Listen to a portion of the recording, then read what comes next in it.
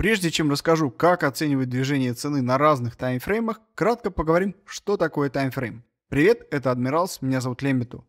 Основная идея, лежащая за понятием таймфрейма – упрощение представления ценового графика. Для этого делим ценовой график на равные интервалы и сводим колебания цены к четырем цифрам. Начало периода или цена открытия, конец периода или цена закрытия, максимум и минимум цены в этот период. Но при упрощении мы частично теряем информацию. Если представим этот график как свечу, то на ней мы не увидим уровней, отмеченных фиолетовым маркером. Как это противоречие решить? Об этом расскажу чуть позже. В большинстве торговых терминалов изменять таймфрейм можно при помощи специального меню. В MetaTrader это организовано в виде кнопок на панели. На графике сейчас установлен 5-минутный таймфрейм. Свечки стоят плотно друг к другу, и тем не менее график занимает весь экран. Но если этот же участок посмотрим на часовом таймфрейме, то увидим, что это движение цены занимает на нем чуть меньше 20%. Если простыми словами, то таймфрейм – это механизм, позволяющий изменять масштаб графика цены. Как и в обычной ситуации, если вы смотрите большой масштаб, то видите страны и континенты, если смотрите мелкий масштаб, видите улицы и дома. Согласитесь, что если бы вам сказали, нужно пользоваться только глобусом, вы бы этому не поверили. Также не поверили бы и в то, что нужно пользоваться только картой. В такой ситуации вы проявили бы здравый смысл и предположили, что иногда нужна карта, а иногда глобус. С таймфреймом похожая картина. Важно не каким таймфреймом пользоваться, а что смотреть. Об этом сейчас и поговорим. Для примера разделим график цены на отрезки, равные 5 минутам. Обратите внимание, что длительность последнего участка меньше 5 минут. Как с этим быть, расскажу чуть позже. Построим по этому графику 5-минутные свечки, получим 3 свечи. Как быть с последним участком? Существенное отличие последнего участка в том, что эта свеча только формируется и закончится ее формирование по окончании 5 минут. На графике свеча будет все время меняться. Как вы думаете, Времени прошло чуть больше 15 минут. Мы можем построить уже 20-минутную свечку.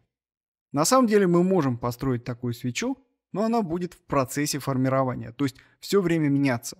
Свеча перестанет меняться только когда закончится 20 минут. Хорошо, с 20-минутными свечами разобрались, а можем ли мы в текущее время увидеть, как выглядит часовая свеча? Все верно, мы можем увидеть часовую свечку. 20-минутная и часовая свечи будут выглядеть одинаково. Все дело в том, что сейчас эти свечи формируются. Пройдет 20 минут, и 20-минутная свеча перестанет меняться, а часовая будет меняться, пока не закончится час. Посмотрите на график цены. На нем 5 максимумов. На 5-минутном графике максимумов было уже только 3. А на последнем графике остается только один. Таким образом, чем старше берем таймфрейм, тем грубее картинку получаем.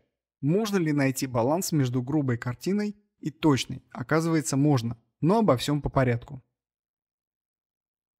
Представьте себе, что у нас пятиминутный таймфрейм, и цена растет. Тренд вверх, и мы, зная, что тренд имеет тенденцию к продолжению, ждем продолжения. Но цена резко идет вниз. Хочется спросить, в чем проблема? Вы, наверное, уже догадались. Дело в том, что мы смотрели на пятиминутку и видели локальный тренд, не подозревая о глобальном тренде. А цена тем временем подошла к уровню со старшего таймфрейма и развернулась. Развернулась, потому что тренд имеет тенденцию к продолжению. В данном случае тренд на старшем таймфрейме. Смотрите, не очень красивый, но вполне читаемый тренд вверх на 5 минутах. Теперь посмотрим этот участок на часовом графике. Участок, который мы сейчас смотрели на 5 минутах, здесь помечен желтым цветом. Как видите, это лишь незначительный откат на нисходящем тренде часового графика.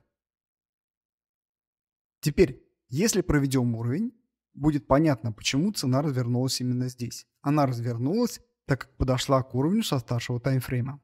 Посмотрите, как это выглядело на 5 минутах. Если бы мы в данном примере не смотрели на часовик, то и не подозревали бы о готовящемся развороте локального тренда. Вывод. Оценивать поведение цены нужно комплексно. Как это делать, разберемся прямо сейчас. Пусть пятиминутный график растет. Почему говорю про пятиминутный, объясню позже. Но теперь, зная, что это может быть неполная информация, вы посмотрите на часовой график. Часовик снижается. Проведем уровень, на котором может закончиться откат часового графика, и уровень, пробой которого подтвердит продолжение тренда. Смотря на старший таймфрейм, определим несколько моментов. Первый.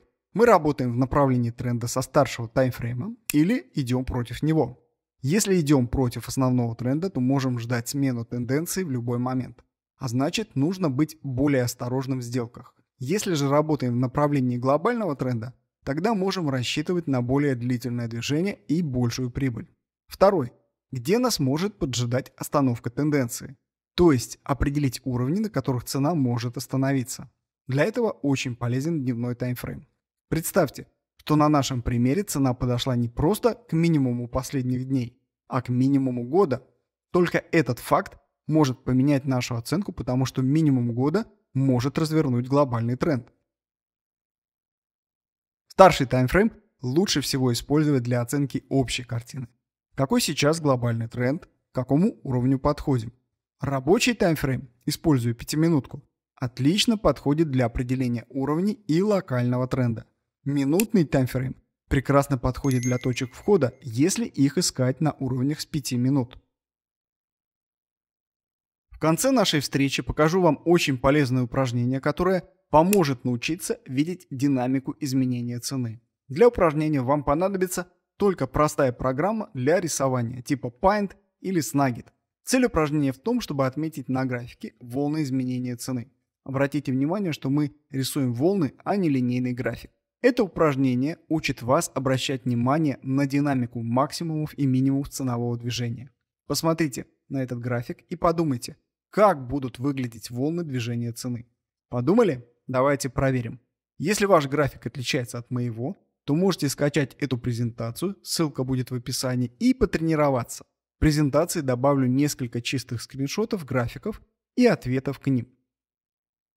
Если вам понравился ролик, ставьте лайк, Поделитесь им с друзьями, напишите комментарий, расскажите, на каком таймфрейме торгуете, подписывайтесь на канал Admirals и не забудьте нажать на колокольчик, чтобы не пропустить новое видео. Всем спасибо и до новых встреч!